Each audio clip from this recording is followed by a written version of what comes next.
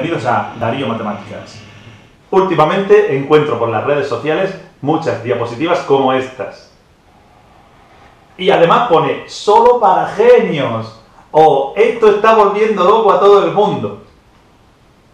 Muchos años llevo yo explicando ecuaciones y sistemas de ecuaciones y el alumnado reniega y dice que esto es muy difícil o poco motivador o que no sirve para nada. Vale, pues aquí tenéis una diapositiva algo motivadora. Para los que no sabemos dibujar muy bien, aquí tenéis una guitarra Fender, muy usada por Bruce Springsteen.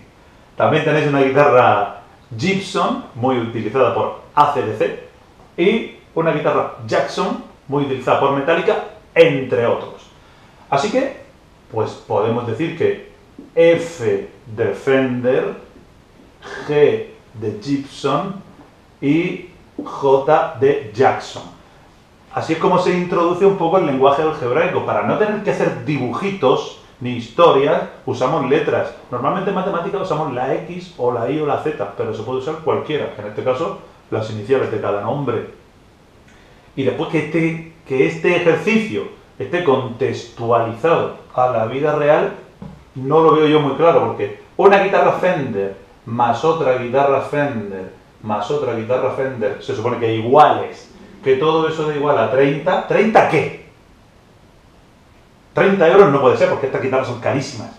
Pero bueno, me sirve para explicaros el lenguaje algebraico, pero no está bien contextualizado. En fin, por supuesto que son 10 cada una, pero podríamos decir que son 3 Fender igual a 30 y dividir 30 entre 3. Esto lo digo por si fueran los números más difíciles, porque esto de genio no tiene nada.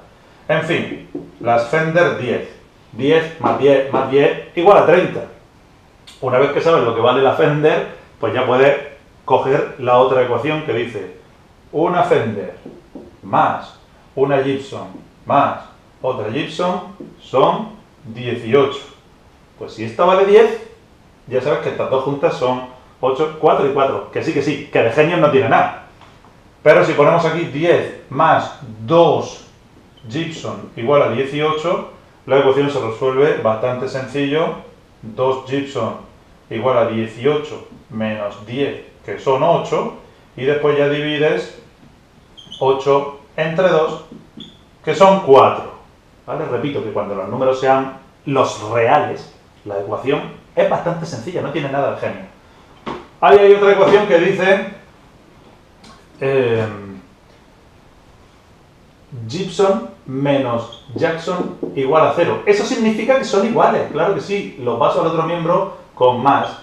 Gibson igual a Jackson, Jackson, es decir, 4.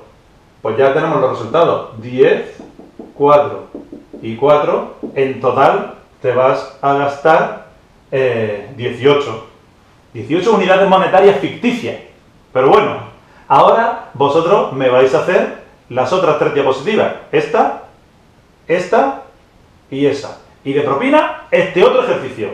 La digo matemática y la vida diaria con la guitarra y la música.